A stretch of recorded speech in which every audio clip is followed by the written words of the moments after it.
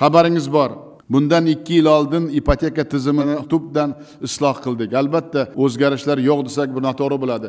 Juda ko'p uylar qurdik. Lekin talab juda katta hali. Yigirma yetti yil uy qurmaganmiz. Bir xonadonda mana vodiyda farg'onada boshqa boshqa joylarda toshkentda ham to'rt beshta oila yashayapti. Bu mutlaqo bizni sharoitimizga to'g'ri kelmaydi.